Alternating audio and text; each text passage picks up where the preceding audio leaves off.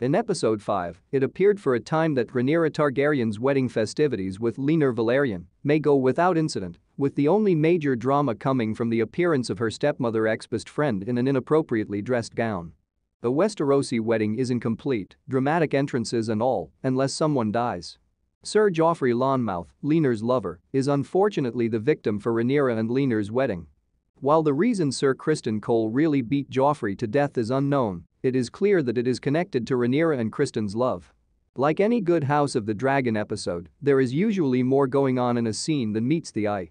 Daemon Targaryen's reappearance was among the pomp and circumstance of the entrances, which also featured an outstanding entry for House Velaryon.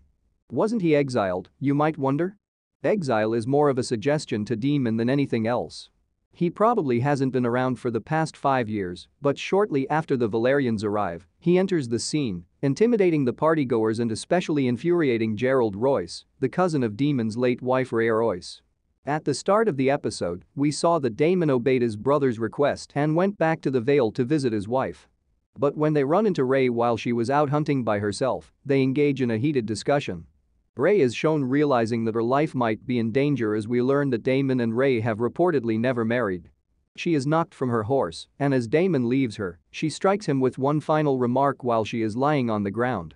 The image cuts away as Daemon picks up a rock and moves back toward her. So was Ray murdered by Daemon? Saying that he did would be the straightforward response. Even if the scene strongly suggests it, there is a sense of ambiguity if you weren't present when the crime was committed. All we know about Lady Ray and George R.R. Martin's novel Fire and Blood is that she fell off her horse and hit her head on a stone. However, she survives for nine days in the book before dying. Although it's never clearly mentioned the Daemon killed her. Even if the facts may never be known for certain, Lord Royce undoubtedly holds Daemon responsible for Ray's death, and Daemon is hardly the distraught widow, coldly demanding his inheritance. We observe as Daemon draws the attention of both Rhaenyra and Laena Velaryon as the festivities continue. Daemon dances with Laena, while Rhaenyra concentrates on her wedding festivities, dancing with Laenor and Harwin. He admits to her that he wasn't upset by Ray's death, but Laena doesn't seem to be troubled by this. She chooses to flirt with the prince instead in an effort to learn more about him. What is happening to Laena and Daemon, then? Well, if you've read Fire and Blood, you already know that this episode both references and predicts events from upcoming episodes. In the end, Rhaenyra will have an affair with Sir Harwin, leaving Daemon newly single and ready to wed Laena. Daemon has his eyes set on Rhaenyra as well, though. When Otto Hightower learned from a source that the two had been seen coupling in a brothel late at night, it threw everything into disarray. While the two came close, they never completed the deed, as far as we know.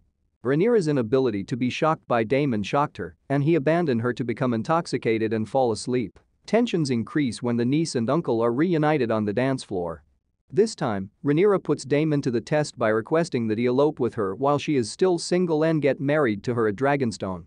Viserys and Alicent, Emily Carey, both see their interaction, which is more significant because it is obvious to everyone else. While we are unsure of what what occurs while the partygoers dance, they did appear to be very near. Everything becomes chaotic as the conflict ends. Rhaenyra and Laenor are surrounded by partygoers as Sir Criston violently murders Joffrey in a fit of fury and guilt. When the dust settles, Joffrey's lifeless body is all that is left on the ground, while Viserys stares while suffering from nose bleeding. What happened to Daemon then?